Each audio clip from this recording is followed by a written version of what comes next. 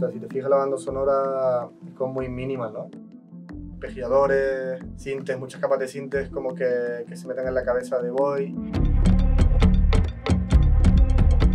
Y cuando hablamos con Jorge de las veces así de bandas sonoras que nos encantaron, obviamente aparecía Akira, el trabajo en general de Philip Glass, pensaba mucho en peli de Dario Argento, la banda sonora de Goblin. La velocidad de la peli me llevaba como otros elementos rítmicos como congas, shakers, palmas, sonidos de cuerpo. Y hemos usado tempos muy de música africana, tribal.